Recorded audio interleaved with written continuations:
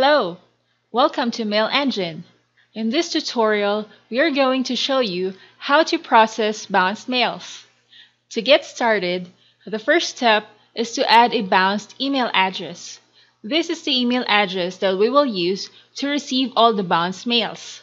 In this example, we will use this Gmail account which has no emails yet. Take note of the email address. Now go back to the mail engine, go to the email settings, scroll down, and look for the check bounced mails.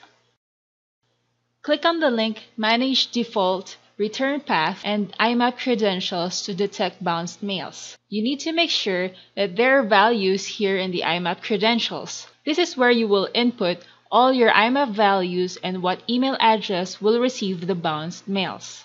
For the IMAP hostname, we have imap.gmail.com since we are using a Gmail account.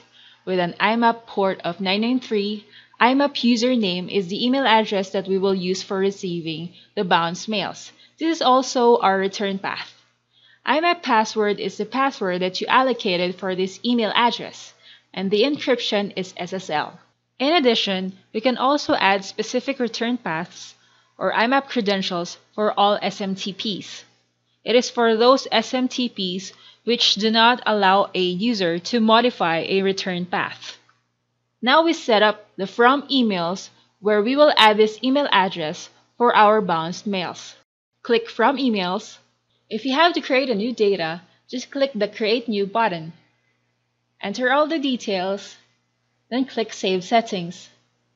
Then we go to the lists. Click the Create New button below, input a list name, then click the Create New List. Now we can add an email address manually or import email addresses from an Excel CSV file. For example, we enter testemail at gmail.com. Then we click the plus button to add this to the list. For this example, let's use an existing list. We have a list named Bounce Mail Test. Let us see the list by clicking the Add Subscribers button.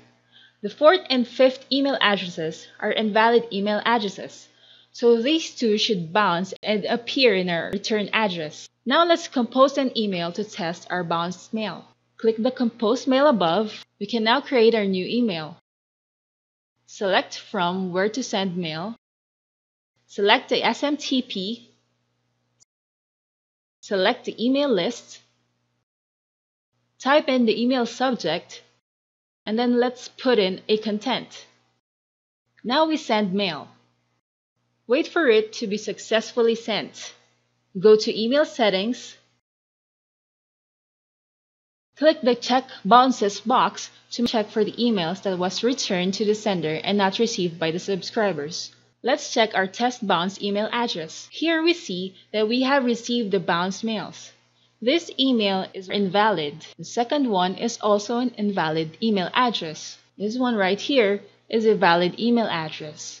Going to our dashboard, we can check that the latest emails are indicated here. We can check the email that we just sent and take a look at the number of bounced mails. We can also check what email address that bounced by clicking this link. We do have an option to export it to an Excel CSV file or delete it. If you want to delete it, just click this button. As you may notice, when you delete an email address from here, it gets removed from the list it was originated. This one is blank, meaning it's already deleted from the bounce mail test list. We can also delete bounce mails per category. Just go to Email Settings, we have an option to choose if you want to delete types of bounces from the list or from the inbox of the bounce mail. Let us try deleting all the bounce mails from our return path bounce mail.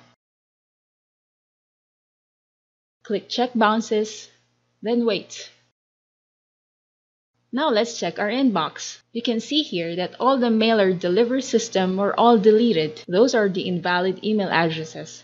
And this one right here did not bounce so it was not deleted. We can also set up this API URL to check bounce mails with cron jobs. But we do have a separate video that shows you how to do it. Make sure you watch it. Thank you.